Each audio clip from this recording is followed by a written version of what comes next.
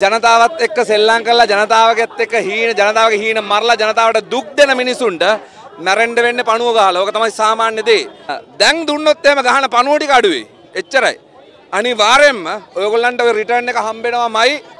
දැන් ඔයගොල්ලන්ගේ කාලේ ඉවරයි.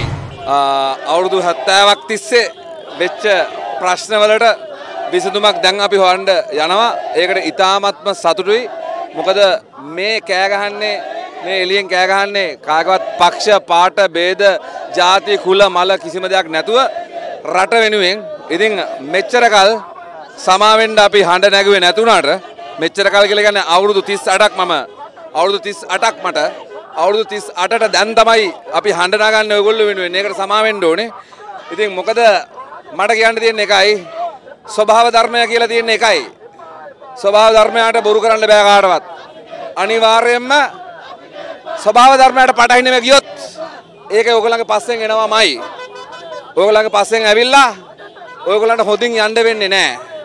දැන්වත් දැන්වත් මම කියන්නේ සාමාන්‍යයෙන් මෙහෙම ජනතාවත් එක්ක සෙල්ලම් කරලා ජනතාවගෙත් එක්ක හීන ජනතාවගේ හීන මරලා ජනතාවට දුක් දෙන මිනිසුන්ට මැරෙන්න වෙන්නේ පණුව ගහලා. ඕක තමයි සාමාන්‍ය දේ.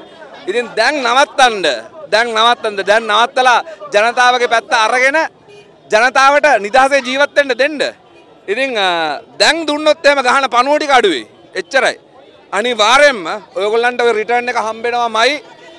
රිටර්න් එක ස්වභාව ධර්මයෙන් දෙනවාමයි. මේ ස්වභාව ධර්මය ඔයගොල්ලන්ට කතා කරන්න පටන් ගත්තා විතරයි. මේ පටන් ගත්තා විතරයි. අපෙත් මොකක් හරි එකක් අකුලක් තියෙනවා ඔයගොල්ලන්ට ලොකුම කරන්න පුළුවන් දේ අපේ කට වහන්න අපේ ජීවිතය නැති කරන්න පුළුවන්කම තියෙන්නේ. එතනින් එහාට මේව නතර වෙන්නේ නැහැ. මම අවුරුදු 30ක් තිස්සේ මේක කාලා බීලා ඇඳලා මම මේ රටේ හිටියා. ඊටාම සතුටෙන් ජීවත් වෙන්න උත්සාහ කළා. උත්සාහ කරමින් අනිත් මිනිසුන්වත් සතුටෙන් තියන්න උත්සාහ කළා. හැබැයි එක තැනකින් එහාට ඒ සතුට හැමෝගෙම නැති නැතු යනවා. හැමෝටම ඒ දුක දැනෙන්න ගන්නවා.